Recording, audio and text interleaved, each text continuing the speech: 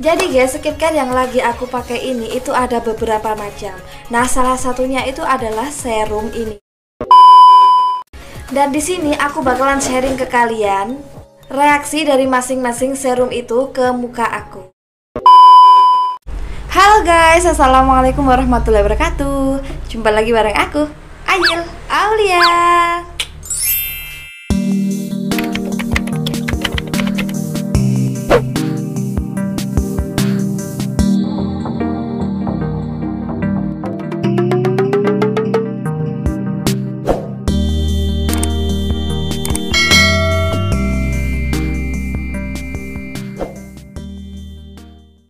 Video kali ini aku mau mereview sebuah produk lagi dari MS Glow. Yeay! Dan aku akan tunjukkan ke kalian kehebatan dari produk itu. Nah, dari thumbnailnya kalian pasti tahu itu produk apa, yakni serum. Serum dari MS Glow. Di sini aku mau mereview dua serum ini. Yang pertama, yang pertama ada serum luminous dan yang kedua ada serum lifting. Nah guys abaikan dari backgroundku ya karena ini uh, aku hanya pakai lighting dari sinar matahari secara langsung. Dan ini aku ada di dekat jendela jadinya aku uh, backgroundnya seperti ini acak-acakan nggak apa-apa kan ya? Karena cuacanya lagi mendung. Baca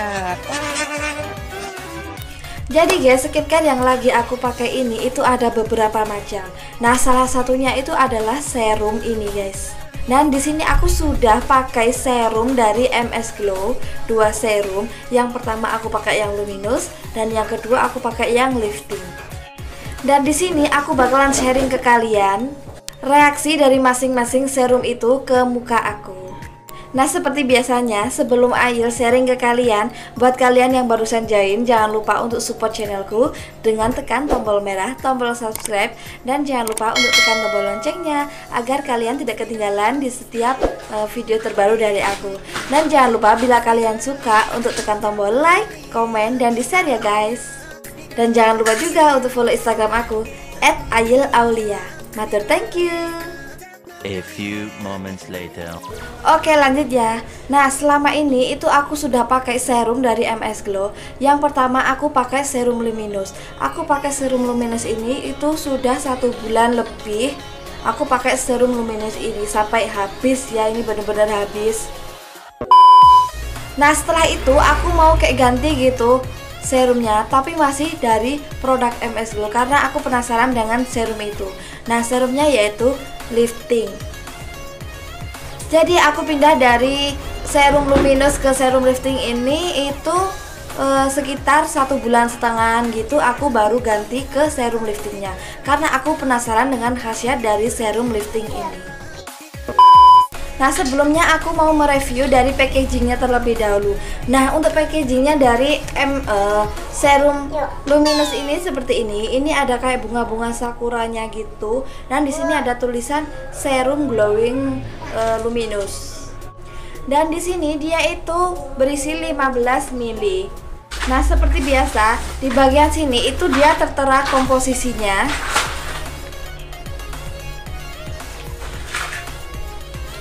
Lalu di bagian sini tertera uh, manfaatnya sama cara pemakaiannya. Begitu pula sama dengan serum lifting. Di sini itu tertera komposisinya, lalu ada manfaat dan cara pemakaiannya. Sama ya guys, ini sama-sama kotak. Dan untuk packagingnya yang ini, yang botolnya itu sama, sama juga, sama-sama seperti ini. Dia itu berbentuk pam gini. Ngecrot Nah, oke lanjut lagi. Nah, untuk dalamnya sendiri di sini yang membedakan itu untuk luminous dia itu berwarna kayak gold gold gitu dan untuk yang uh, serum lifting itu dia berwarna silver tapi dalamnya itu kayak putih kental gitu, guys.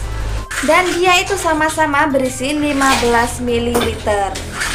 Nah, kalau kalian tanya, kenapa kita sudah pakai paket krim tapi masih harus gunain serum? Dan jawabannya karena serum itu untuk membooster kinerja krim kalian. dan untuk mengatasi permasalahan kulit kalian secara spesifik. Oke, kita membahas dari serum luminous dulu. Dari manfaatnya, serum luminous sendiri itu mampu mencerahkan dan memudarkan noda pada kulit wajah. Yang pertama. Nah, lalu yang kedua, menekan melanin penyebab kulit kusam di wajah. Dan untuk yang ketiga, memaksimalkan kinerja dari bahan aktif krim tersebut. Nah, tetapi itu semua terbukti, guys. Setelah aku merasakannya sendiri, 5 hari, tepat 5 hari aku sudah merasakan dari sensasi serum tersebut.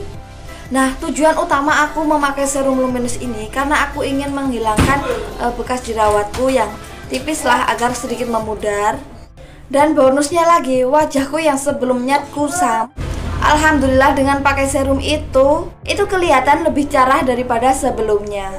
Namun kekurangannya di dia, dia itu tidak bisa digunakan di kulit muka yang sedang berjerawat guys. Dan karena kulitku itu tipe yang oily, jadi mudah banget jerawat itu singgah di muka aku tanpa ada rasa sungkan-sungkan sama sekali.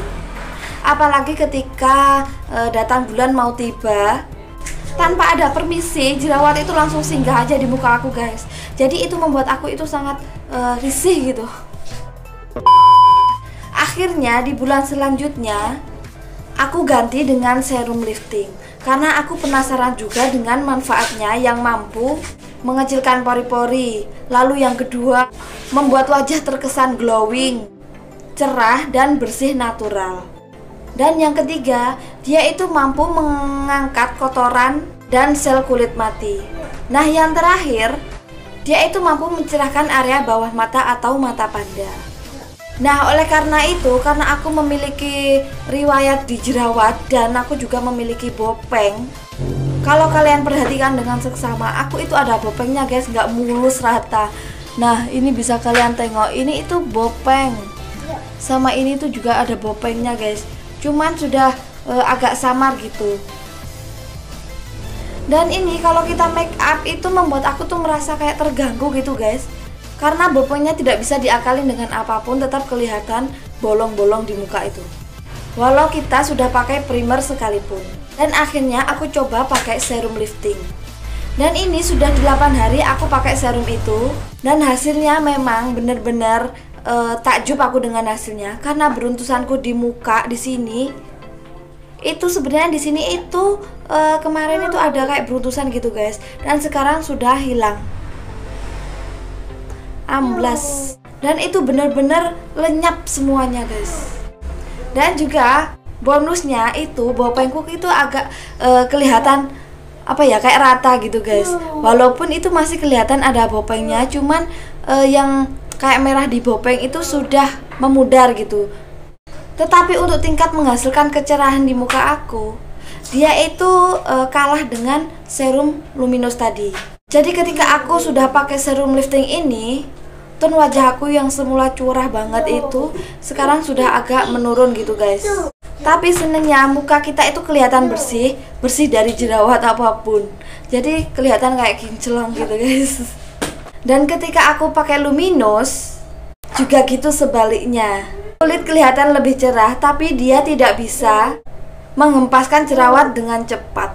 Karena memang eh, serum-serum uh, ini itu memiliki manfaat tersendiri guys. Jadi oke okay, nggak apa-apa nggak masalah bagi aku. Five minutes later. Nah dari sini kalian pasti tahu perbedaan dari serum lifting sama serum luminous tadi.